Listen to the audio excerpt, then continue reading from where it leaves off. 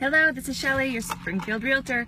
Hey, the market is really starting to heat up. So if you or anyone you know is talking about buying or selling in the near future, this is a great time.